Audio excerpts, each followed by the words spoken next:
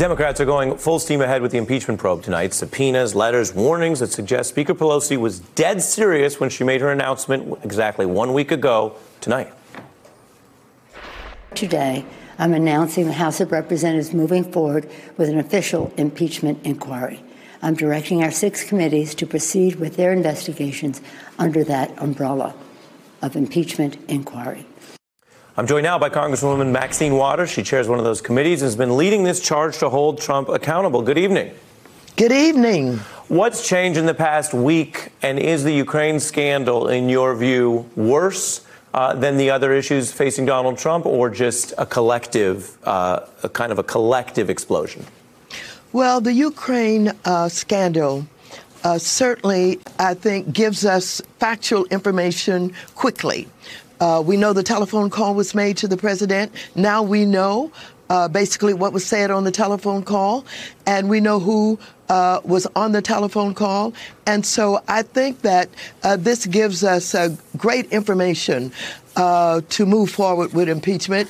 And as the Speaker has said, should be perhaps the focus of what we do. But all of the other things that the six committee chairs have been working with will be discussed. Mm-hmm. And we don't know exactly how many of these issues will be in the impeachment resolution, but we're going to, we're going to talk about them. But yes, Ukraine uh, is going to be a focus. And Congresswoman, I want to ask you about something you said. As, as you know, and many of our viewers know, uh, you speak your mind.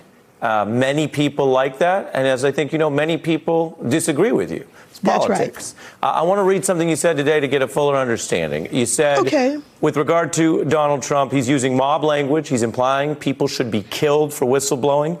Impeachment's not good enough for Trump. He needs to be imprisoned and placed in solitary confinement. But for now, impeachment is the imperative. That's um, right. I ask you tonight are, are you speaking literally?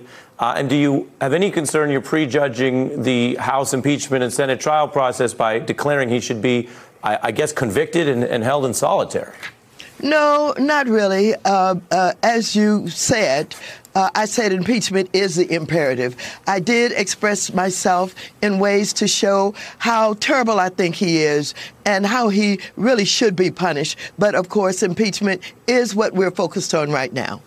With regard to allegations of obstruction, uh, one of the things that the facts show this White House has done more extremely than others, in- including really the Nixon White House, uh, is try to defy a lot of different lawful requests from your committee, from others. Um, when we see chair, uh, multiple chairs say this is now going to be itself evidence of obstruction, what does that mean? And do you join the other chairs in that? Are you saying that if, if you don't get responses by a certain time, what happens to those uh, White House or agency officials? Well, I do agree um, that, you know, this president has instructed those who we have been subpoenaing not to come before our committee, not to cooperate. It is outrageous in what he is doing. And now that we have more information, factual information, for example, that Pompeo was on that telephone call, uh, he must respond to this subpoena. He must come forward, or he could be charged, I believe, with obstruction of the impeachment. And I don't hmm. know everything that goes along with that, but I certainly hope that it means we can drag him in or we can arrest him. Wow. Uh, I want to play for you uh, some of what you said during the last time um, these issues came up, during the Clinton impeachment. Take a look. Yes. This is a bunch of baloney. I'm not a lawyer, but I could argue this case in court and win. I think Mr. Ken Starr is the poster boy for all of the bad prosecutors in America. Obviously, many of the facts are different. What do you say to people this time around to argue that Donald Trump's uh, case, potentially articles of impeachment against him, are different than those against President Clinton? Oh, I think decidedly different. I think that, you know, if you take a look at this president, ever since he defined himself uh, during his primary election, in the way that he treated his peers, the way that he called names on into the election, the way that he talked about grabbing women by their private parts, what we know about his defense of Putin, and the the fact that he has ignored the intelligence community in identifying uh, that he cer- they certainly was involved with undermining our elections, hacking into the DNC, the way he has insisted on private meetings uh, with our enemy, uh, that is Putin, and the way that he's insisted on private meetings with Kim Jong Un, on and on and on. This president has advocated violence. Uh, this president, in my estimation, was eligible for impeachment long before mm, this. Yeah. And it does not even compare with what was going on with the Clinton impeachment. And so I do believe that we now have factual information about him attempting to engage the president of the Ukraine in getting dirt on Biden. The telephone call was made, the information is there, and this just adds mm. fuel to the fire.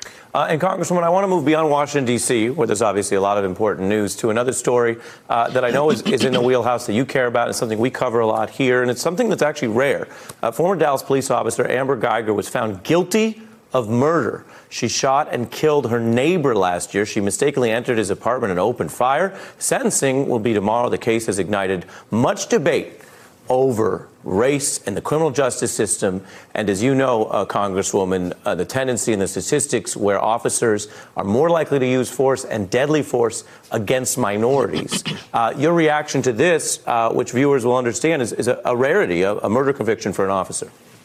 Well, uh, this officer certainly didn't have any credibility in her defense. It is unbelievable that she didn't know where her own apartment was, what floor it was on.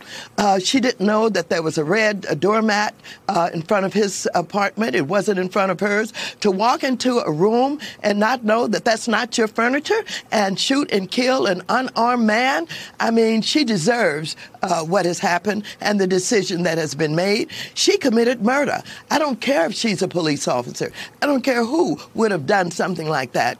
They deserve to be convicted. And so I'm pleased she was convicted. Uh, she didn't have a good defense at all. Mm-hmm. Uh, wanted to get your reaction to that. As you know, it's a big story. Uh, Chairwoman Maxine Waters, always appreciate your time. I hope you come back on the beat. Well, I absolutely will. Just invite me back. I'm happy to come and join you. There we go. Uh, thank you, ma'am. We'll be watching and watching your committee quite a bit. Hey, I'm Ari Melber from MSNBC. You can see more of our videos right here, or better yet, subscribe to our YouTube channel below. You could have been anywhere in the world, but you're here with us, and we appreciate that.